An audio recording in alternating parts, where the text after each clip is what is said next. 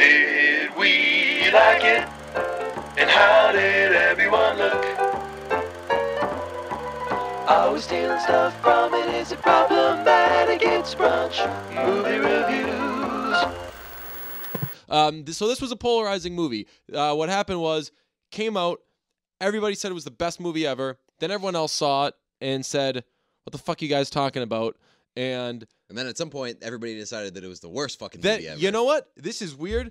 Th- I would not think that Three Billboards would be this. Three Billboards was the fucking La La Land of 2017. That's pretty true. Yeah, it's the there are parallels there. Where like at first everyone was like, "Holy shit, it's so good," and then people went to see it being like, "So what's this best movie I heard about?" It's like no one said it was the best. They said it was really good, and then they come out and they're like, "That wasn't the best. Fuck Three Billboards." All right, did we like it?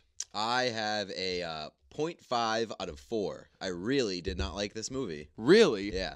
There were a lot, a lot of things that bothered me and kind of like infuriated me while I was watching this movie. Yeah, I was always into it. I was always eager to see what was going to happen next. Um, I wanted to know how it was going to work out. I thought the storylines were interesting. Woody Harrelson's character of the Biggies is the only good person in this movie. Every character, unlikable. Willoughby, the best. this isn't the beat up Mildred Hayes hour, but I think a big part of the story that a lot of people missed was my takeaway from this movie was what a bad situation drove a seemingly good person to do. The Yeah. big thing, obviously, is that in the end, she unites with Dixon, who is the biggest piece of shit established from the start of the movie. He's the worst possible person. And the lengths to which she goes to try to get answers, to try to make herself feel better, to try to get any sort of peace of mind because her daughter's murder and rape has gone unsol- unsolved is uh, like that's what the movie's about for me. I give it 2.8 Okay. out of 4. One of the, one of It's my a big biggest difference for us. One of my biggest complaints is how not subtle they were in the telling of like some of the aspects of the story. Mm. Um, like the the part where they do the flashback. Yes, that was my big, like, give me a break. Cringeworthy, Yeah. where the daughter gets raped and murdered, and they go. They have this flashback scene, like the last time that they that they interact. She leaves the house after a fight, and she's like, the mom makes her walk. She yells, "Well, I hope I get raped." She's, "I hope I get raped," and the mom yells, "I hope you get raped too." It's like, come the fuck on. How did everyone look? Um, I'm giving this one a 1.5 out of two. Um, I thought everybody looked like pretty much what they were supposed to look like. I thought Woody Har- Woody Harrelson looked great for a guy who had uh, seemingly terminal cancer. Heavy cancer. cancer, yeah.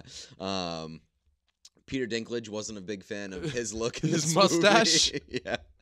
Uh, but like everybody kind of looked like uh looked the part for a uh, Missouri like rural Missouri spot. If anything, the flashback was good to show how Mildred was before it all went down. Um, which was like stressed out housewife versus like lady at the end of, end of her rope. Um, But they did a great job of of making her look Yeah. like kind of like the fed up yeah. older woman. So in that case, I give it a one, which Okay. is just like it didn't do too much, didn't do too little. Like it doesn't really stand out, but right, like, give but it a clean one. It did what it was supposed to. Are we stealing stuff from it? Uh, hopefully not. Uh, I actually have two things. Um, so I'm giving it a one out of two.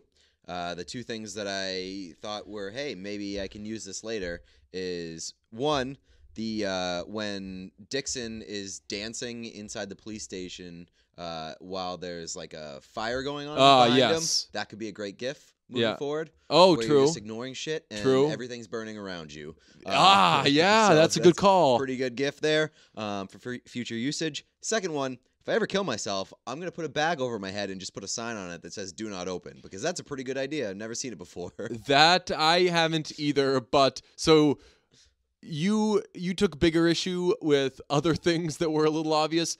That I thought was the most obvious thing in the world. Like if there's a dead guy with a bag over his head and the bag is like really really bloody, then maybe do not open. like I think that it's it, it's a it's a courteous thing that if you're gonna shoot yourself in the head Yeah. to kind of shield the the person who finds you. Yeah, um I don't know how that came up as uh, stealing stuff, but yeah, I'm not stealing that. Um, I mean, it's it, you know you can't rule anything out.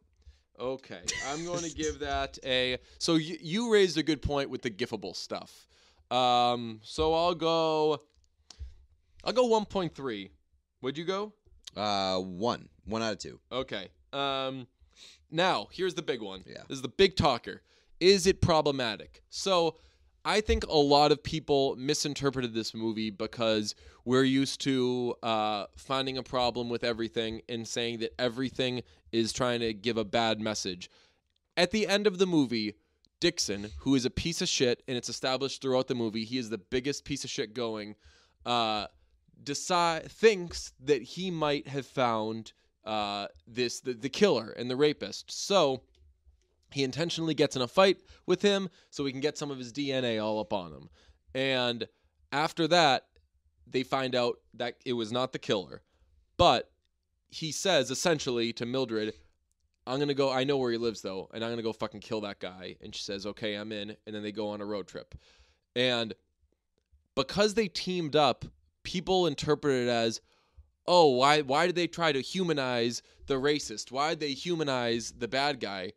They fucking didn't. He she chose to go with the fucking bad guy because the one time the bad guy did anything that could have been productive or attempt to, it was of use to her. You have to admit that the, basically the entire final act felt like it was a it was like a redemption arc for him.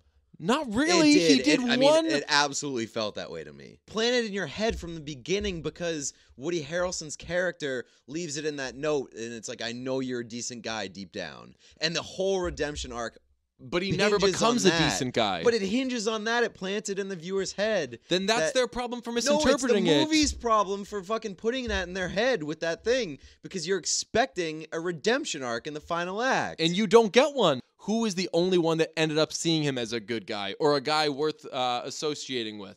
Mildred. And that's because she has fucking fallen so far that she's willing to go on a little murdery road trip with the racist, with the guy who fucking throws people out the window. If people took it as they forced on us that this guy was a good guy, then it means that you believe that he's a good guy. That shit's on the viewer. I thought that I think that the movie was smarter than people are giving credit for. What do you, what'd you give for a score for problematic? I mean, I know I gave it a zero out of two. I just found like I thought that there was so much shit in this movie that that irked me. So many little details that could come off as problematic. The nice fucking person in the movie is the little 19 year old girl.